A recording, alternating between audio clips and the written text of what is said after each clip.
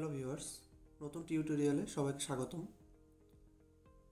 আজকে আমরা দেখব অ্যাডজাসেন্সির একটি কোশ্চেন, যেটার সলভ করব হচ্ছে ফোর অ্যাডজাসেন্সিতে, এইট অ্যাডজাসেন্সি এবং এম অ্যাডজাসেন্সি।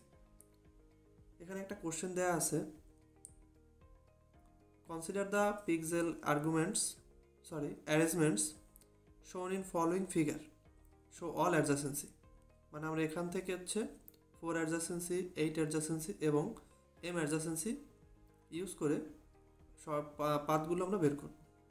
যেখানে অ্যাজিউম করা আছে হচ্ছে V equal to one comma two আর এখানে এখানে সোর্স নোট হচ্ছে এটা ডেস্টিনেশন নোট হচ্ছে এটা দেওয়া আছে। এখন আমরা যদি ফোর অ্যাডজাসেন্সি ইউজ করি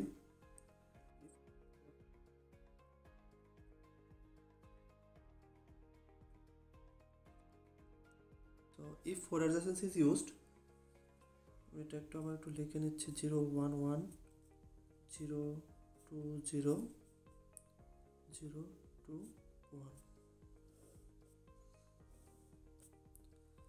তো আমরা প্রিভিয়াস ভিডিওতে ফোর অ্যাডজাসেন্সি এইট অ্যাডজাসেন্সি এবং এম অ্যাডজাসেন্সি সম্পর্কে বিস্তারিত বলা আছে। যদি কেউ সেই ভিডিওটি দেখে না থাকেন, তাহলে এই ভিডিওটির উপরে ডান পাশে আই বাটনে ক্লিক করে সেই ভিডিওটি দেখতে পারবেন। সাথে এই ভিডিওটির ডেসক্রিপশনে আমি প্রিভিয়াস ভিডিওগুলোর লিঙ্ক দিয়ে দেবো, সেখান থেকে দেখেও নিতে পারবেন। সো আমি আবার একটু দেখাচ্ছি।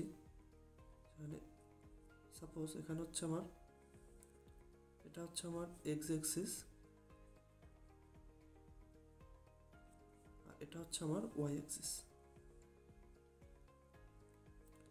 এবার এটাকে আমি হচ্ছে one two three one two এবং থ্রি এবার এই নোটটার জন্য আমরা লিখতে পারি হচ্ছে ওয়ান ওয়ান এটার জন্য আমরা লিখতে পারি ওয়ান কমা টু এটার জন্য লিখতে পারি আমরা ওয়ান কমা থ্রি এভাবে আমরা two comma one two comma two two comma three three comma one three comma two এবং থ্রি কমা থ্রি এই কনসেপ্টে আমরা হচ্ছে, এখানটা হচ্ছে আমরা জিরোর কোঅর্ডিনেট হতে হবে হচ্ছে ওয়ান কমা ওয়ান এটার কোড ওয়ানের কোঅর্ডিনেট হবে one comma two one comma three এভাবে আসলে two one two comma one two comma two two comma three three comma one three comma two three comma three এবার এই source note থেকে destination নোটে আমাদের যেতে হবে ফোর অ্যাডজাসেন্সি ইউজ করে। So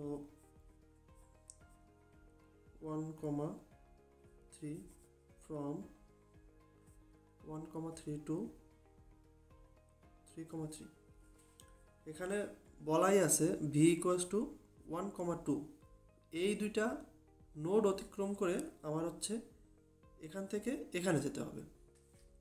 কাজে আমার ফার্স্ট পথটা হচ্ছে one comma three comma one comma two then হচ্ছে এই একটা পথ ওয়ান থেকে এই টুতে যাচ্ছে, তাহলে হচ্ছে এটা হচ্ছে টু কমা টু এখান থেকে আমার এটা যাচ্ছে থ্রি কমা টু এটা দিয়ে আমার হচ্ছে, এটা যাচ্ছে। থ্রি কমা থ্রি এটাই হচ্ছে আমাদের ফোর অ্যাডজাসেন্স এখন আমরা হচ্ছে, যদি আমরা এইট অ্যাডজাসেন্স ইউজ করি,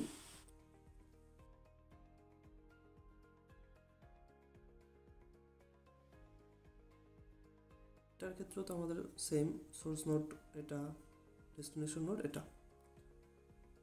So one three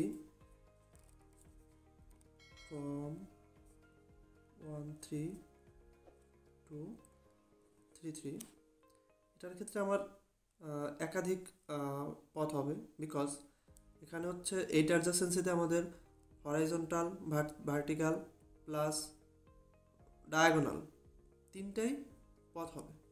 সো সেক্ষেত্রে one comma three one comma two two comma two three comma two three comma three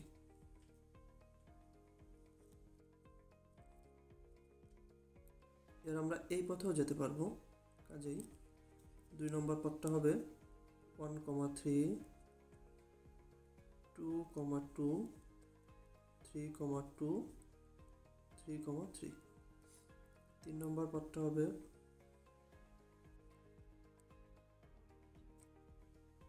তাহলে এখানে আমার হচ্ছে, এটা আমি ধরি যদি one comma three two comma two and three comma three আর একটা কিন্তু পথ বাকি রয়ে গেছে। সেটা হচ্ছে one comma three one comma two two comma two three comma three তো এই চারটাই হচ্ছে আমার eight অ্যাডজাসেন্সির path last one is M adjacency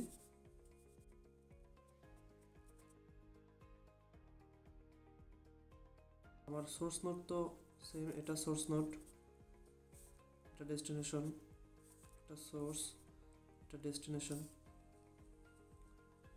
তো এমার্জেন্সিতে আমার ফার্স্ট প্রায়োরিটি হচ্ছে এন ফোর পি মানে হচ্ছে ফোর নেইবার্স হরাইজন্টাল এবং ভার্টিক্যাল এটা হচ্ছে অলওয়েজ ফার্স্ট প্রায়োরিটি দেন অন্যটা।